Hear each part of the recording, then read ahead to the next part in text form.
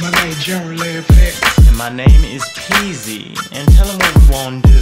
Gonna sing my song called Pants on the Ground.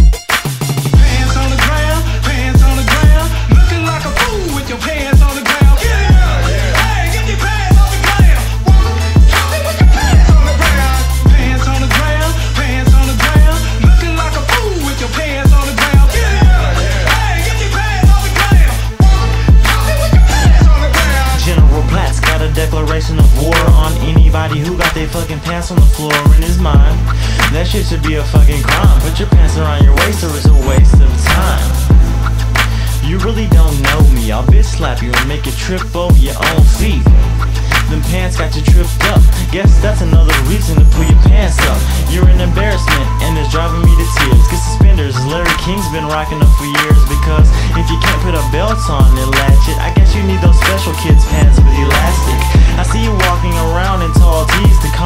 for things that you aren't covering, but it seems that the person to wear stomach pants first will be the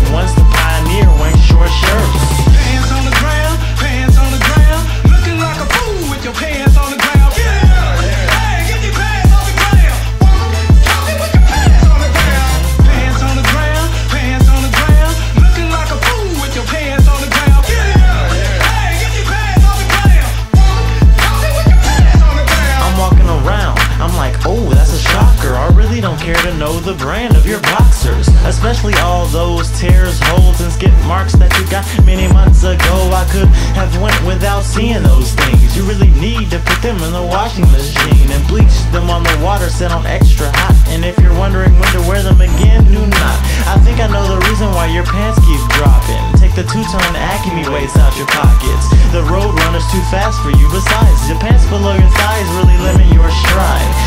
Saying, what kind of OG wears his ass bare like he wants something jammed up there? You're not an OG, you're gay. Just go to the club with rainbows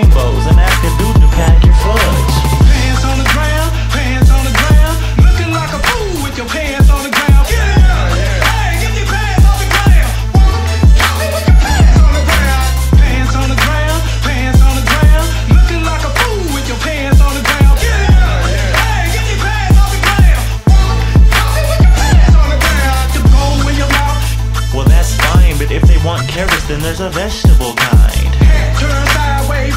That's weird. Why would anybody want shade on one ear? The gold in your mouth, Give me the creeps. His dentist must have ran out of real looking teeth.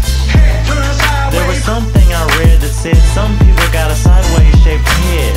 Larry, what was that song called? Pants on the ground. Are you sure? Yes. You know, I have a horrible feeling that song could be a hit.